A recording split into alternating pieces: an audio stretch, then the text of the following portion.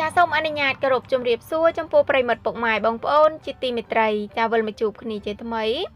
នៅអត្ថបទចំណេះដឹងមួយក្រោមចំណងជើងថាមិនធ្លាប់ដឹងទេគ្រាន់តែត្រាំជើងក្នុងទឹកកក15នាទីជារៀងរាល់ថ្ងៃលទ្ធផលនឹកស្មានមិនដល់ចាវិធីធ្វើគ្រាន់តែចាក់ទឹកកកចូលទៅក្នុងចានធំមួយបន្ថែមដុំទឹកកកមួយចំនួនចូលក្នុងចាននោះ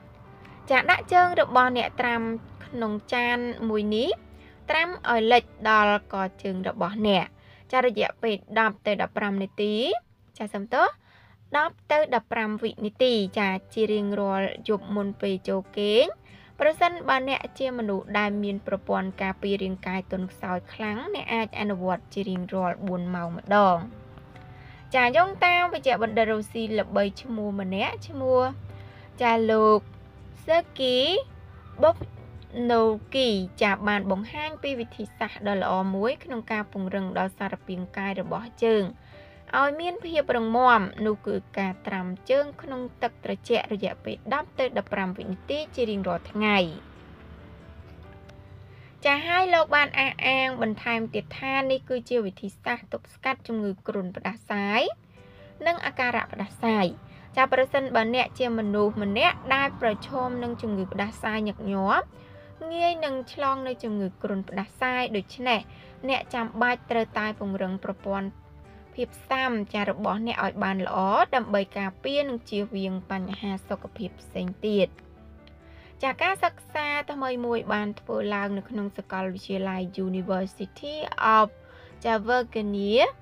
បានសិក្សាបង្ហាញថាទឹកត្រជាក់គឺ អាចជួយពន្លឿនដល់ការផលិតរបស់ norepinephrine ចាដែលជាអរម៉ូនដ៏សំខាន់សម្រាប់ពង្រឹងនិងជំនួយដល់ប្រព័ន្ធសាំចារបស់អ្នកឲ្យកាន់តែរឹងមាំព្រមទាំងចាមានសុខភាពល្អលើពីនេះទៅទៀតទឹកកកនេះអាចជួយផ្ដល់ផលប្រយោជន៍ជាច្រើនដល់រាងកាយរបស់អ្នកដូចជាកាត់បន្ថយការឈឺសាច់ដុំត្រាំជើងរបស់អ្នកនៅក្នុងចានទឹក ត្រជាក់ដើម្បីបំបត្តិការឈឺចាប់ក្នុងសាច់ដុំប្រឆាំងនឹងជំងឺបាក់ទឹកចិត្តចានៅពេលដែលរាងកាយឬស្បែករបស់អ្នកបានប៉ះជាត្រជាក់ចាអាចធ្វើឲ្យចាអារម្មណ៍របស់អ្នកធូរស្រាលបង្កើនអារម្មណ៍ល្អព្យាបាលជំងឺបាក់ទឹកចិត្តចាឲ្យបានរសាយជាងមុនរួមទាំងសារៈសំខាន់ជាច្រើនទៀតមានទាំងការថែរក្សាស្បែកបង្រួមរញើ